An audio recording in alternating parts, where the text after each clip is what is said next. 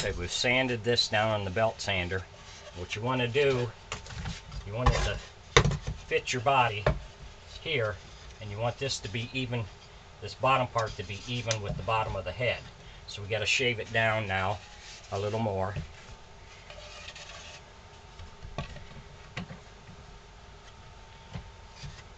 And we'll go back to our Dremel.